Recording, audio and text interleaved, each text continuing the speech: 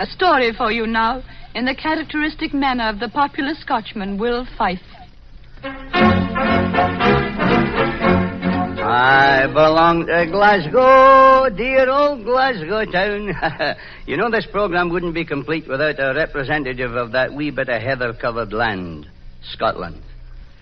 Today is the day. We're doing something for a great occasion the visit of our King and Queen to your country. True, as they were nearing these shores, the reception was a wee bit cold, owing to the icebergs they encountered. But the warmth of their reception in America would melt all the icebergs in the Atlantic. Well, here I am, a Scotchman in Hollywood. They tell me it's a wonderful place. I hope to see it one of these days. You see, I only go from the hotel to the studio and from the studio to the bank and then back to the hotel again. you know, they tell a lot of stories against we Scotch people about our generosity. But all those stories are wrong. A Scotchman spends as much of his own money as anybody else spends of it for him. Here, was it not a Scotchman who gave the biggest prize in the history of sport? Do you remember that? He offered $20,000 to the first man that could swim the Atlantic. Underwater. eh? Well, that's one thing you must admire about we Scotch people. We don't mind a joke against ourselves. It doesn't cost us anything, so we don't bother about it.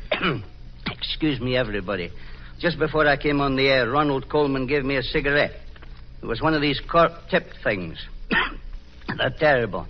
As soon as the cork starts to burn, it seems to upset my throat somehow. you know, I like a cigar best, don't you? You know, the best cigar I ever had in my life was given to me ten years ago by the mayor of Los Angeles. It was a Corona Corona. Uh, it was a beauty. I sometimes bring it out now on a Sunday and have a puff at it. I remember once a Scotch friend of mine, McGregor, who was invited by an Englishman to spend a week with him in London. When he was leaving, the Scotchman says, You've treated me wonderful.